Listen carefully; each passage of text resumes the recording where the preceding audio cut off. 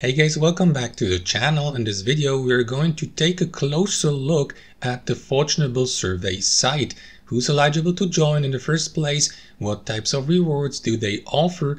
And what's even more important, how much can you realistically expect to earn as a survey taker on this site? Is this a realistic earning claim we read on their homepage here, earn up to $5 per answer? Well, we're going to cover all of these questions in this review video. So if you're curious and would like to learn more, keep watching and now let us get started right away. Alright guys, so some basic information for survey takers here on Fortunable first. As a nice warm-up, signing up is entirely free, which I find positive. There are no sign-up fees or hidden costs. They claim to offer fast and easy payments. According to this information here on the homepage, we're going to take a closer look at the featured reward types just in a second. And what I find positive too is that you can join Fortunable as a survey taker basically from anywhere in the world. I signed up from Poland, but guys, you can check if your country is listed as a supported country here in the top right corner.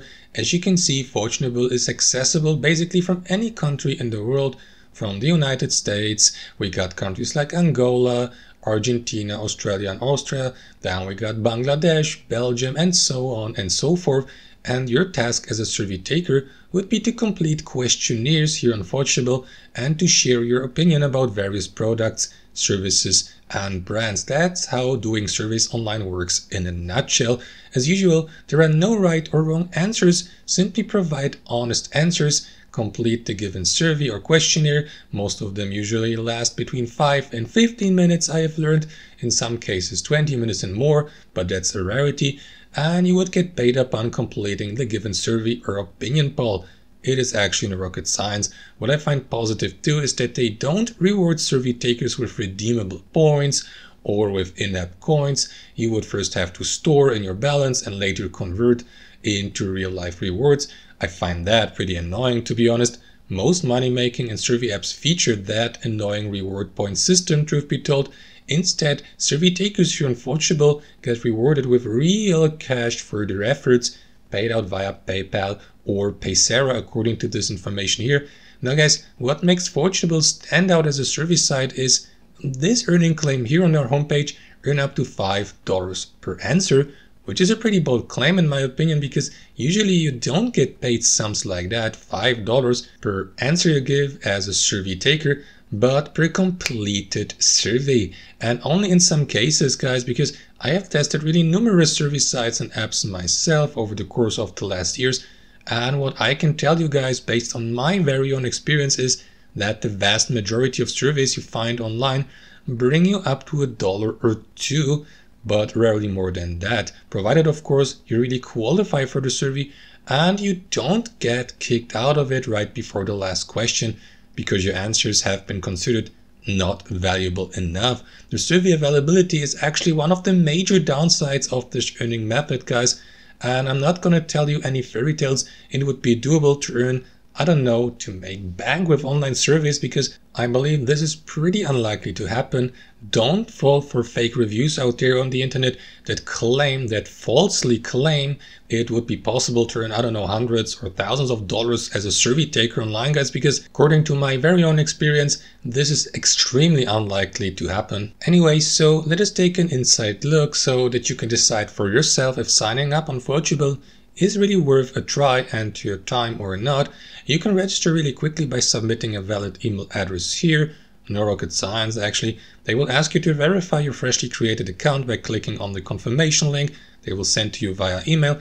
But before you will be allowed to log in for the first time, they will encourage you to check out another service site they run first by clicking on this button here and after that on another button pretty annoying in my opinion. This one here, DigiOpinion. Well, I can't say with 100% certainty if both service sites, DigiOpinion as well as Fortunable, are run by the same guys, but it seems pretty obvious to me because both have the same layout and design and overall look. Plus, their whole homepage is full of pop-up ads here in Fortunable, which I find pretty annoying too. They're literally all over the place, seriously.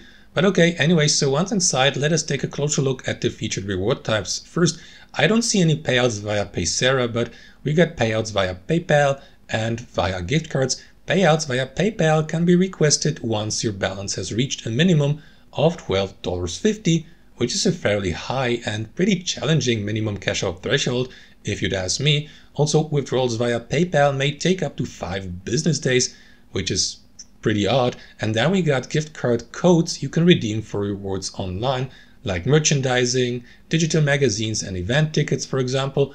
These have a slightly lower cash out threshold of 10 bucks. And lastly, guys, before you approach your first survey, make sure you have completed your survey taker profile inside your account settings here in Fortunable because the more complete your profile is and the more information it contains, for example, about your preferences and behavior as a consumer, about your educational background, your hobbies, and your professional status, for example, the higher also your chances of getting invited to these surveys more frequently. That's what I have learned after years of doing these surveys. You can start with questions about your household situation and once you have finished the questionnaire, continue with the next department of your profile. Now, to not bore you, I'm gonna complete my profile off screen really quickly and I'll see you guys in a second.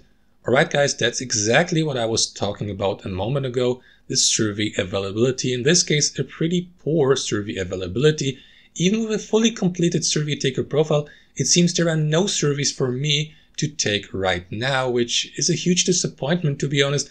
Well, I'm not a big fan of these service sites anyway because the survey availability depends heavily on your geographic profile, which makes this method pretty useless for those of you guys who live in countries where survey providers rarely look for survey participants, which applies to Poland, the country I'm currently located at, or at least a lot less frequently than in other regions of the world.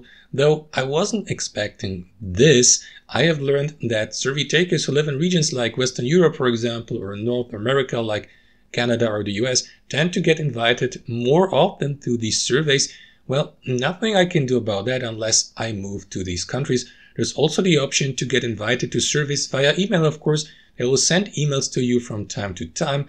If there's a survey that might match your profile, they will notify you of that. Nevertheless, guys, at the end of the day, I definitely can say that doing surveys here on Fortunable is not going to work as a replacement for a full-time job or for a business. That should be pretty clear and obvious by now, even if you live in a country with a higher invitation probability some surveys may bring you up to $5. Yes, I wouldn't rule that out, although I believe payment rates like this are rare and in reality you may be able to earn a couple of bucks as a survey taker on survey sites like this one here per month at most guys, but definitely not a full-time income and don't fall for fake reviews on the internet that claim doing surveys could make you wealthy because that's close to impossible, guys. Believe me or not, but it's close to impossible. All right, so guys, let's not make this video unnecessarily long and call it a day here. Hope you enjoyed the video and I'll catch you later.